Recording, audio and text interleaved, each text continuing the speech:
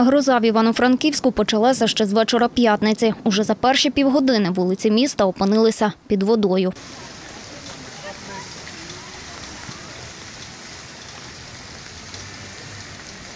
Івано-франківці діляться в соцмережах світлинами та відео підтоплених вулиць та розлитої від берега до берега Бистриці. А тим часом рятувальники відкачують воду із житлових будинків.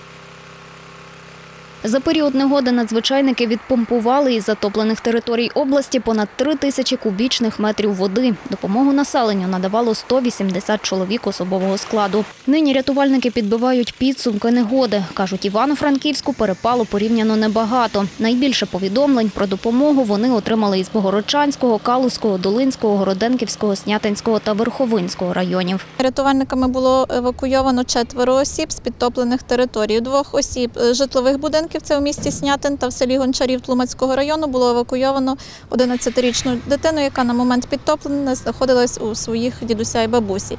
Е, Також в селі Добровляни Калузького району автобус на момент зупинки підтопило і теж е, рятувальники виїхали для надання допомоги, евакуювали водія та пасажирку цього автобуса. Внаслідок сильних злив, які відмічалися впродовж минулих вихідних, на території області було підтоплено 190 житлових будинків, 1234 присадибних ділянки, 8 автомобільних мостів пошкоджено, також один пішохідний міст, е, які ці мости сполучали якраз населені пункти е, з приватними присадибними ділянками. А у селі Глибоке Богородчанського району двоє тамтешніх мешканок постраждали від удару блискавки. Це трапилося у п'ятницю близько 21-ї години. На щастя, їхньому життю нічого не загрожує.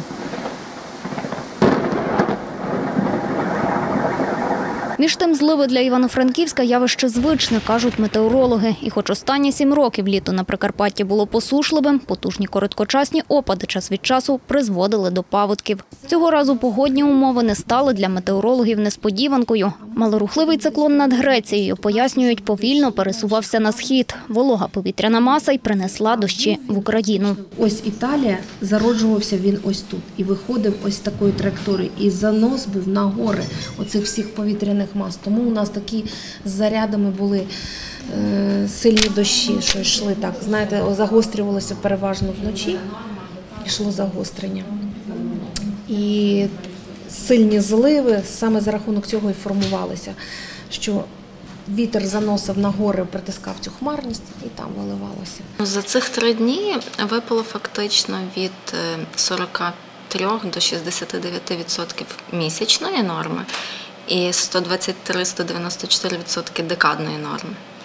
Е, Тобто це ну, велике перевищення опадів конкретно на цю декаду. По кількості опадів по наших станціях, то найбільше опадів було все ж таки в гірській і в горах і високогір'ї, також і на рівнині, і по місту Івано-Франківську велика кількість опадів, потім долина. Теж ну, найменше виходить Коломийська, е, Коломийська станція дала найменшу кількість опадів, найбільшу Пожежевська високогірна. На цьому істотні опади припинилися, відзначають метеорологи. Дощові хмари попрямували на північний схід у сторону Росії. А Прикарпаття після злив найближчим часом прогнозують осушуватиме сонце та тепле повітря. Температура його невдовзі підніметься вище 25 градусів за Цельсієм. Ірина Головенко, Мирон Василик. Новини на вежі.